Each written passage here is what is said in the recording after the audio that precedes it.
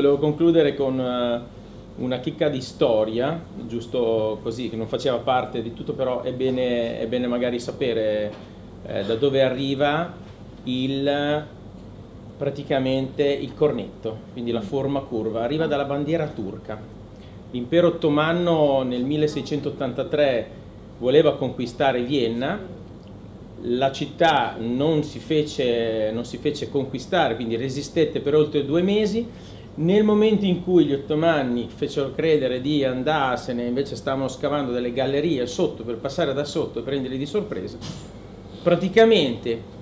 i cuochi che lavoravano di notte per eh, cuocere e, e, e fare le provviste per il giorno dopo, c'era praticamente il turno di notte, si accorse di questo, diedero l'allarme e gli ottomani praticamente non riuscirono nemmeno quella volta a entrare.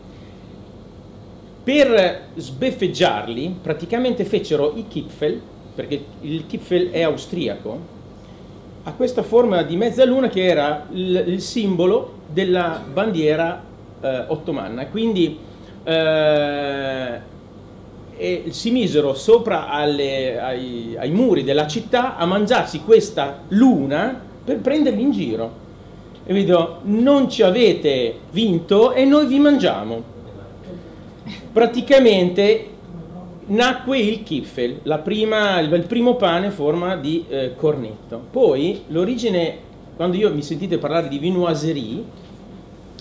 che significa tutti i prodotti di prima colazione, sta di lì perché una, eh, nel, nel 1736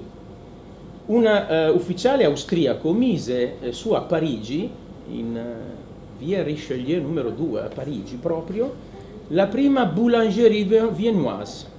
e tutto quello che veniva fatto lì naturalmente era pre preso il nome di viennoiserie, il Kipfel,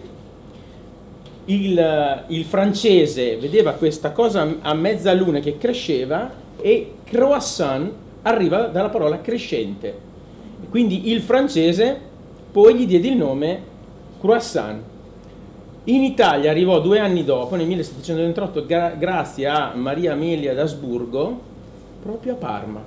quello ve l'ho voluto dire, a Parma, in corso Garibaldi, nacque la prima panetteria, perché quando gli asburgici persero il dominio di queste città, il cuoco di questa uh, Maria Amelia non sapeva cosa fare, mise su una panetteria a Parma e, e cominciò a fare i kiffel.